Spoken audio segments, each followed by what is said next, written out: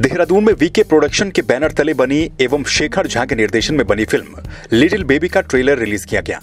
इस फ़िल्म की विशेषता यह है कि इस फ़िल्म का फिल्मांकन पूरी तरह से उत्तराखंड की खूबसूरत लोकेशंस पर किया गया। साथ ही, इस फ़िल्म में 90 प्रतिशत कलाकार उत्तराखंड से हैं। ये फ़िल्म पिता और बेटी के रिश्ते पर बनी हुई एक खूबसूरत फ़िल्म है, जिसमें पिता के किरदार में प्रियांशु चर्क और बेटी के किरदार में गुलनाज सिंगापुरिया नज़र आएँगी।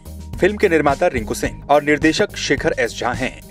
इस मौके पर कैबिनेट मंत्री धन सिंह रावत, मेयर सुनील उनियाल गामा डॉक्टर राकेश जैन, दिलीप सिंह रावत, बद्रीश छाबड़ा भी मौजूद रहे।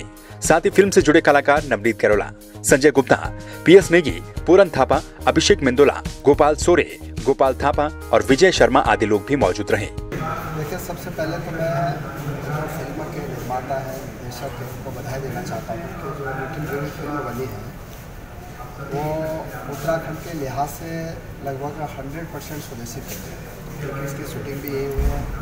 अधिकांश कलाकार भी यहीं के हैं और मुझे बहुत आसार विश्वास है कि उत्तराखंड में पूरे देश और विदेशों से सबसे खूबसूरत हमारा प्रदेश है। मैं माननीय मुख्यमंत्री जी का भी आभार व्यक्त करना चाहता हूँ कि उन्होंने जो फ़िल्म पॉलिसी बनाई है, उसके कारण अब निर्माता निर्देशक हमारे उत्तराखंड राज्य में आ रहे हैं। लोगों को पता नहीं है। थोड़ी इंफ्रास्ट्रक्चर की तकलीफ़ है, क्योंकि सड़कें पहले बहुत अच्छी नहीं थी। रहने का इंतज़ाम बहुत अच्छा नहीं था। थोड़ी खाने पीने की तकलीफ़ होती थी। मगर अब पिछले कुछ सालों में वो सारी चीज़ें भी खत्म हो गई हैं। रहने की अच्छी सुविधा है, सड़कें बहुत अच्छी हो गई हैं। मुझे उम्मीद लगता है दो तीन साल में और अच्छी बन जाएगी, क्योंकि चौड़ीकरण वगैरह का काम काफ़ी चल रहा है। और उसके बाद शायद लोग विदेश शूट करने नहीं जाएँगे। जब उनको बहुत अच्छे सीन्स की ज़रूरत होगी तो शायद उत्तराखंड ही आएँगे। संवाद थ्री के लिए देहरादून से किशोर रावत की रिपोर्ट।